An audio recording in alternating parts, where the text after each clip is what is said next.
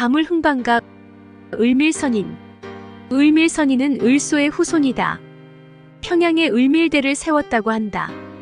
을밀선인은 고구려 제22대 안장 제서기 519년 서기 531년 때 조이가 되고 나라에 공이 있었는데 그를 따르는 무리가 3천이나 되었으며 가는 곳마다 구름처럼 모여서 다물 흥방의 노래를 제창했다.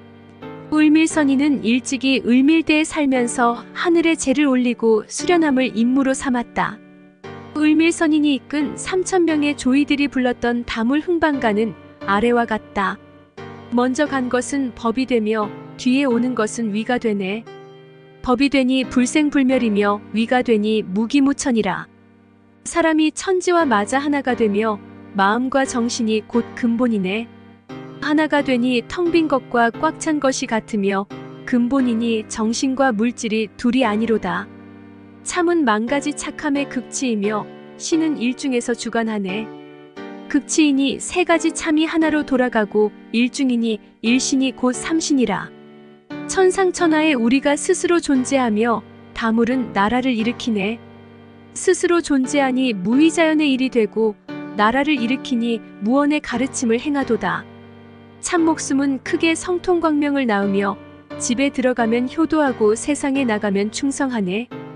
광명이니 무리가 착함을 받들어 행하지 아니함이 없고 효도하고 충성하니 어떤 악함도 일절 생겨나지 않도다. 백성이 의롭게 여기는 것은 나라가 귀중함이며 나라가 없으면 우리가 어찌 살겠는가.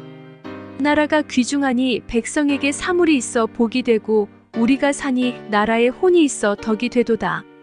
혼에는 삶과 깨달음과 신령이 있고 일신이 머무는 곳은 천궁이네. 세 가지 혼이니 지혜와 삶이 함께 닦아질 수 있고 일신이니 형체와 영혼도 함께 갖추어져 넘쳐나도다.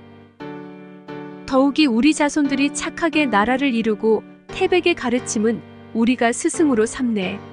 우리 자손들이니 다스림에 균등하지 아니함이 없고 우리가 스승으로 삼으니 가르침에 새롭지 아니함이 없도다.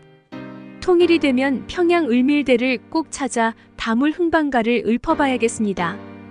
홍익인간 천부세상 억만세